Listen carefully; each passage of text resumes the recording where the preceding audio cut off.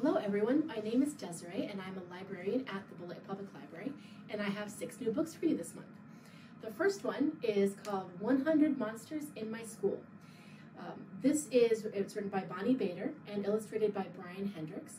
So this is a fun book about the 100th day of school. A lot of classrooms do something special for the 100th day. Um, the main character, Jane Brain, she goes to a school that's a little bit different than yours probably. It's called Frank N. Stein Elementary, which sounds like yeah, Frankenstein. So she goes to school with monsters. So she has vampires and werewolves and ghosts all part of her classroom. Um, her teacher, Miss Vampira, asks everyone to bring a hundred things to celebrate uh, this, the hundredth day of school. Uh, and Jane doesn't know what to bring, so she watches her friends bring in fangs and bats and all kinds of things. So you'll have to read it if you want to find out what Jane does that saves the day in the end. Our second book is called uh, The Monster in the Mattress, and this is a bilingual book. Um, and unlike a lot of bilingual books where you'll have like a line of text in English and then a line of text in another language like Spanish, um, this book is in two parts. So if you want to read it in English, you start here, read this way. If you want to read it in Spanish, you flip it over and read this way. So this book has six mysteries in it, uh, including what did Anita's brother do to her hamster Pinky? Why is there a witch flashing on Sylvia's wall? Where is the missing kitten? And what invisible creature is bouncing on Rudy's bed? So I'm going to read you a little part of one of the mysteries, and this is called Abuela's Mystery Footprints in the Flour. Abuela cleared the counter and set out all the things she would need to make the cake for Abuelo's birthday tomorrow. There were milk, eggs, and butter still cold from the refrigerator. There was vanilla for flavor and a small red and white can of baking powder. But the most important ingredient was the white, silky flour she used for baking special treats. She popped open the silver flour tin. Just as she was about to reach in with her measuring cup, she saw them again. Right in the middle of the smooth white powder were two dents. Antonio, come here, quick, she called. What's wrong? answered Abuelo as he hurried into the kitchen. They're back. Here, come and look for yourself, said Abuela. Abuela looked over Abuela's shoulder. You're right. Looks like someone's been walking in your flour again and left their footprints behind, he chuckled. Abuela didn't laugh. She just shook her head. I don't understand it. No one else uses the flour but me, and I make sure the flour is all smooth and even when I put it away. Abuela lifted up the can and looked underneath to see if there were any bumps in the bottom that might explain the mysterious dents but the bottom of the can was perfectly straight. It doesn't make sense, Abuela continued. Most of the time the flour is completely smooth on top, and other times it has these strange little dents. Maybe it has something to do with the weather, if it's too hot or too cold or too wet or on certain days, Abuela suggested. I don't think so, said Abuela. The lid on the can is too tight. No air gets in at all. Then it's a mystery to me, said Abuela with a shrug as he left the room. Abuela put her fingers in each of the dents and pushed down hard to see if there was anything stuck underneath. But all she felt was the cool, soft flour. She pulled out two ghost white fingers and decided that Abuela was right. The footprints in the flour would have to stay a mystery because she had a cake to bake. So if you want to find out who or what is leaving footprints in the flour, you need to check out this book. Our third book is also a mystery. This is one of the Cam Jansen series. It's number 22, The First Day of School Mystery. Uh, if you haven't read any of the Cam Jansen series yet, uh, Cam is actually a nickname. The character's name is Jennifer, but she loves cameras and she has a really good memory. And so whenever she sees something that she wants to remember, she says click and takes a picture of it with her brain so she can remember it. She does this so much that her friends and her family start calling her camera or Cam for short. So our story starts on the bus on the first day of school for fifth, of fifth grade uh, with Cam and her friend Eric. There's a huge traffic jam and the bus school bus can't get through. So the gym teacher, Mr. Day, has all the kids get off the bus and he walks them to school and they go right past the accident. So let's read a little bit about this. The children walked past people stuck in their cars. Some were resting or reading. Others were taking, talking on small phones. Some people smiled and waved to the children. Look, Eric whispered, police cars. Maybe there was an accident. Cam and Eric kept, kept walking. Then they saw a large tree. When they walked past the tree, they saw the front end of a small green car. It had crashed into the tree. I hope no one was hurt, Eric said. Quiet in the back, Mr. Day shouted. Cam and Eric walked quietly. Then, when they were close to the car, Cam whispered, Stop! Mr. Day and the other children kept walking. Cam waited until the others were a bit ahead. Then she whispered, The car doesn't look so bad, and there's no ambulance, so maybe no one was hurt. Police officers were standing by their cars talking. Cam looked at the green car. She blinked her eyes and said, Click. Cam and Eric got close to the car and looked in. There are papers in the front seat, a white one and a pink one, Cam told Eric. There's a pair of sneakers on the floor and a tennis racket in the back. Cam blinked her eyes again and said, Click. Get away from here, a tall uh, police officer told Cam and Eric. Let's go, Mr. Day called to them. Cam and Eric ran to the line. They quietly followed Mr. Day and the other children into the school. They opened room 118. Uh, they met their new teacher, Miss Benson. They talked to the teacher for a little bit. Miss Benson walked through the room. She looked at the children's work and smiled. Then the door opened. Two police officers walked in. One was very tall, and one was not so tall and had a short beard. I remember the tall policeman, Cam whispered to Eric. He told us to get away from the car. Miss Benson hurried to the front of the room. I'm Officer Oppen, said the not so tall officer. He showed her a piece of paper and said, Is this your car's license plate number? Miss Benson nodded. Did you drive your car to school to this morning? Yes, Miss Benson said. You left the scene of an accident, the tall officer told her. No, I didn't, Miss Benson said quickly. There must be some mistake. Please, the officers with the short beard said, you have to come with us. Miss Benson turned to the class. Sit quietly, she said. Then she left the room with the tall officer on one side and the short one on the other. So, did Miss Benson actually have an accident, or is she telling the truth and the officers have the wrong person? You will have to read it to find out. This is our nonfiction book. It's called Great Idea, and it's all about inventions and, um, and ideas. So the cool thing about this book is that it's written in a lot of different ways. It's not like a chapter book where there's a lot of paragraphs and you're just going to read top to bottom. Um, it opens with here's a quote from Thomas Edison To invent, you need a good imagination and a pile of junk.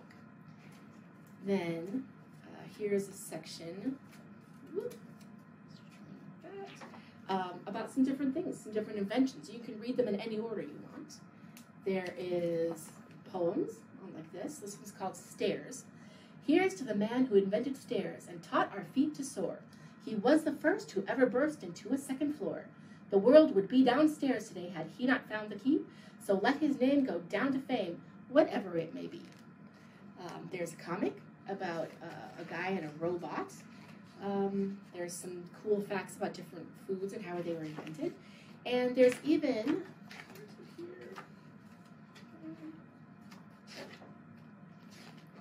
there's a little play about two kids, three kids, um, experimenting with a time machine.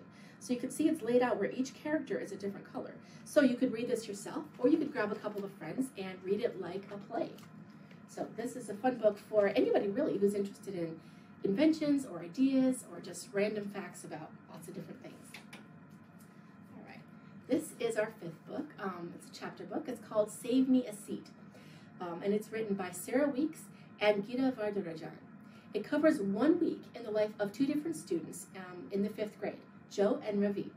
The book is told in two voices, which means it alternates. The first chapter is Ravi talking, and the second chapter is Joe talking, uh, and back and forth.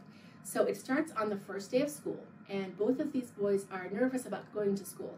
Um, Ravi has just moved to America with his family from India, and even though English is his first language, he has an accent that makes it uh, difficult for some of his classmates to understand him, and nobody pronounces his name correctly. Uh, and Joe is fairly quiet, and both of his two friends moved away over the summer. Um, so the boys do not start out as friends, but they soon develop a common enemy, uh, the class bully, Dylan Sumry. So we're going to start the chapter. And one of the fun things about this book is it's divided into five sections, and each is a day and it's labeled with what they eat in the cafeteria that day for lunch. Because the cafeteria plays a pretty, pretty big role in the story. All right, so this is Joe talking. Please don't call on me. Please don't call on me. Please don't call on me, I think. But I can feel Mrs. Beam's head turning in my way. I groan. I have a feeling I know where this is heading.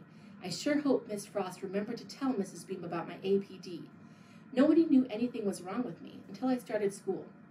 The first week of kindergarten, I spent most of my time hiding in the coat closet with my hands over my ears. My teacher, Miss Kane, thought I was homesick, but that wasn't it at all. I didn't want to go home, I just couldn't handle the noise. It turns out I have something called auditory processing disorder, and it means I have trouble listening. I'm not deaf, I can hear just fine.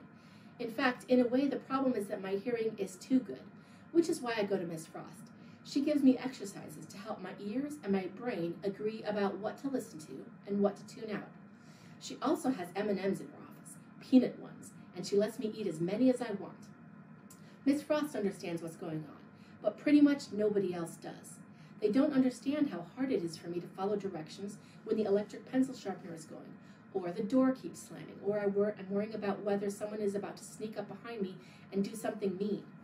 They also don't understand how much I hate to be put on the spot, like when a teacher calls on me. As Mrs. Beam turns my way, I slide down in my seat. Even if she knows about my APD, it doesn't mean I'm safe. Sometimes teachers think they're doing you a favor by treating you like you're no different from anyone else. The thing is, I am different. I slide down even farther in my seat, as low as I can go without falling out. All I care about is not getting called on. It's not that I can't do math, I'm actually pretty good at it. But standing up in front of the class makes me nervous, and when I get nervous, I forget what I'm doing and I make mistakes.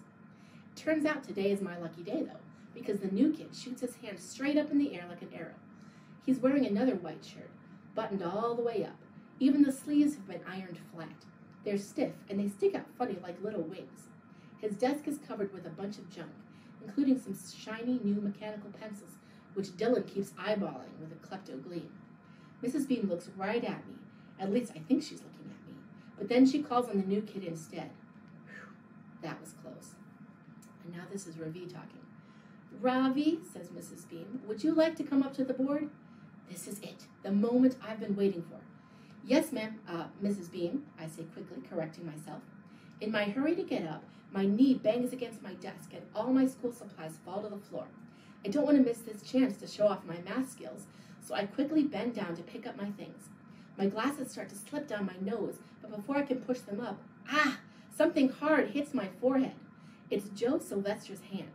Why has he done this? Bumped me with his rock hard head. Can't he see I'm trying to collect my stuff? I rub my forehead as he rubs his. His giant foot is stepping on my name card. Bigfoot, I mutter under my breath. Dylan hears me and laughs. That's rich, he says. Bigfoot just sits there like a lump, but Dylan gets right down on the floor beside me and helps pick up the rest of my things. I thank him for his help, then take a deep breath and straighten my back. I am not going to allow anything to spoil this moment. This is my time to shine. I march up to the front of the class, take the blue marker from Mrs. Beam's hand, and face the whiteboard. I look at the first problem 23 times 13. I close my eyes, and the answer, answer comes to me in a flash 299. But I'm not going to blurt it out and take a bow. I'm going to show Mrs. Beam something she has never seen before. What you are about to witness is pure magic, a secret handed down from ancient times, I say with confidence. There's complete silence in the classroom. I think Mrs. Beam's jaw has just dropped. Take your time, I warn myself. I write the two numbers, one below the other, in blue marker. Then, with a red marker, I draw an arrow connecting the last digits of both numbers. Three times three is nine, I say aloud, writing nine in the ones place with the blue marker. Then I pick up the green marker and write two arrows like a cross. Two times three plus 3 times uh, 1 is 9. I use blue again to write 9 in the tens place. I look at the class. No one is moving. My plan is working perfectly. I draw an orange arrow connecting the tens digits with both of the numbers, and then pick up the blue marker again to write 2 in the hundreds place. The answer is 299, I proclaim, underlining the answer three times in purple, then replacing the cap on the marker with a satisfying click. Everyone is staring shell-shocked at the board amazed by what I've just done. Dylan Samreen grin- grins at me. I think he's impressed. If this performance has not impressed Mrs. Beam as well, nothing will. Ravi, she says slowly, looking at all the arrows on the board, your answer is correct, and your method is very uh, colorful. But, but, what can she mean, but? But we do things differently here, she goes on, giving me that pity look again. Next time, we don't need to see the arrows, just the numbers will do. The purple marker slips from my hand, falling to the floor. First, my manners are too Indian for her, and now my math? What will the next humiliation be, I wonder, as I walk back to my desk? So this is a really good book, whether you've ever felt out of place or whether you know people who felt out of place. Uh, plus, you're going to want to check back to see how Ravi and Joe deal with um, the class bully. It's a really good story. Our last book is uh, one of my favorites, Ramona Quimby, age eight. Uh, Ramona is in the third grade and she lives with her parents, her older sister Beezus, and a grumpy cat named Picky Picky. One of the things I love about Ramona is that even though it's written by an adult, uh, she remembers what it's like to be a kid. And um, Ramona deals with a lot of things that most of us do, like when adults just don't understand you and you have trouble explaining to them what's going on because you really don't understand what's going on either. Um, and Ramona has a lot of explaining to do because no matter how hard she tries, she's always getting herself into crazy situations, um, like this one. So this chapter is called The Hard-Boiled Egg Fad. So a fad, as I'm sure you guys know, is when something's popular for a little while. So at Ramona's school, bringing a hard-boiled egg for lunch is the fad this week. All right. When lunchtime came, Ramona collected her lunchbox and went off to the cafeteria, where, after waiting in line for her milk, she sat at a table with Sarah, Janet, Marcia, and the other third grade girls. She opened her lunchbox, and there, tucked in a paper napkin, snug between her sandwich and an orange, was her hard boiled egg, smooth and perfect, the right size to fit her hand.